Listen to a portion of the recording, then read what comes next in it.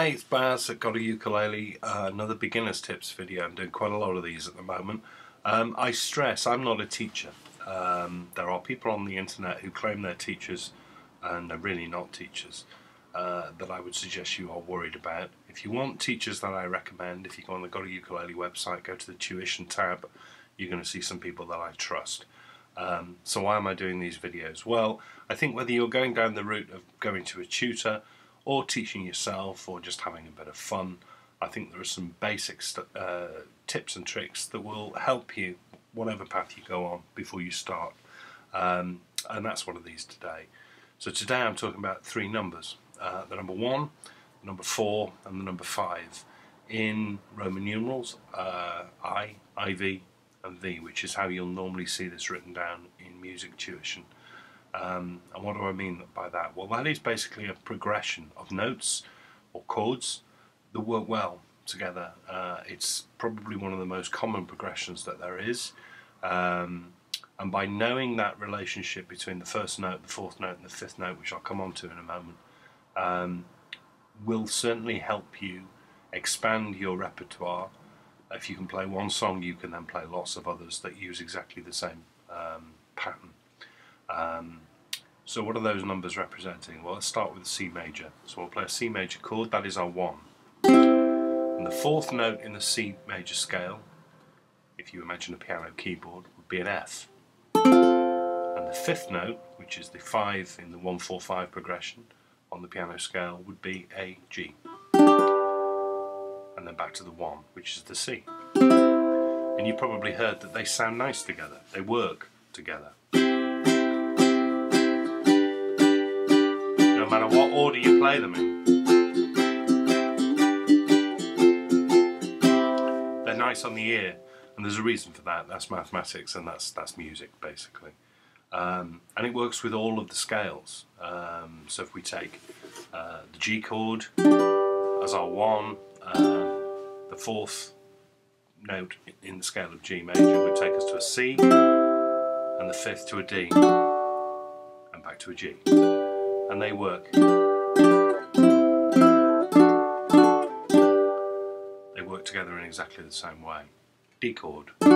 D, fourth is a G, fifth is an A, back to the D. And they work in the same way. That's the same relationship. So by knowing that, if you've got a, a, song that uses the progression 145 in the key of C and you know that that's using the C, G, you know that if you wanted to shift it up to a D, you'd be using a D, G, A. Um, don't worry about that for now. Just get your ear around the relationship between 1, 4 and 5 and they can play in any order. Um, I'm trying to think about the most common song that uses that pattern and it's probably Happy Birthday. I don't know anyone who doesn't know it, but that's using those chords in C.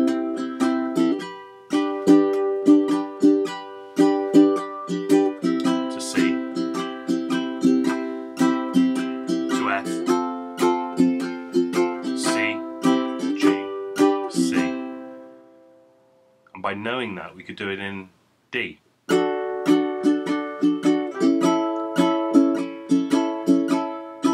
Back to D.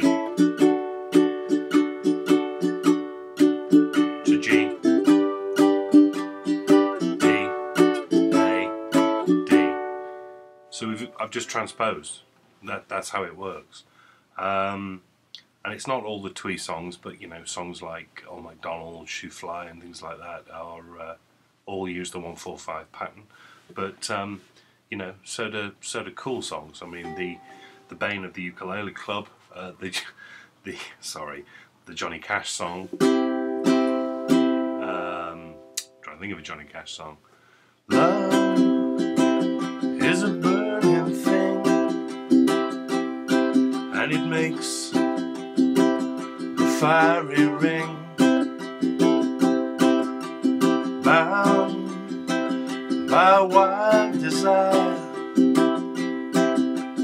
I fell into a ring of fire.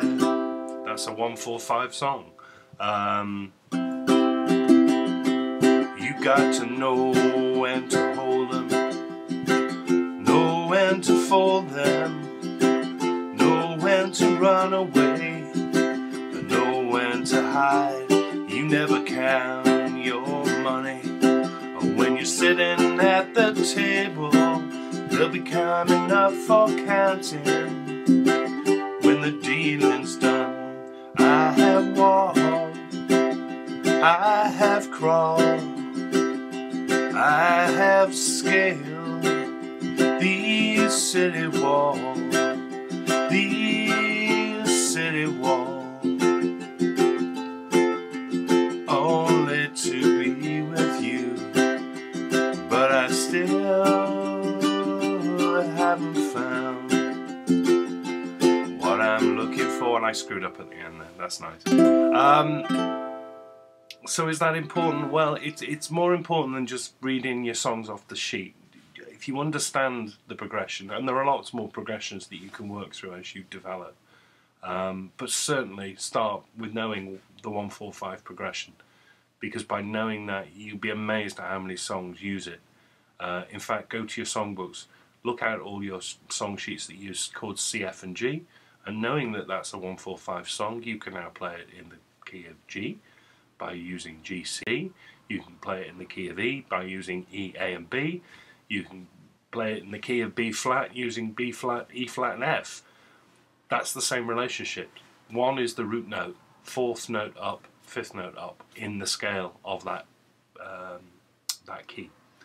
Um, so knowing 145 is immensely useful. Um, have a look on my website on the link in the description below because there's a link there to something called the Circle of Fifths which will help explain that a little bit more uh, and some other tricks and, and tips around chord progressions and the relationship between chords and melodies for that matter. I hope that helps. I hope it's not um, put you off because it really is one of the simplest things to learn and so much better than just sitting down there with your ukulele and saying, well, I'm playing a C and I'm playing an F because that's what my chord sheet tells me to. Think about why it's asking you to play that. Yes, it, that's the way it was written, but it was written that way because it sounds good. Um, so one, four, five, one. You can open up so much music if you know this. Good luck, enjoy it.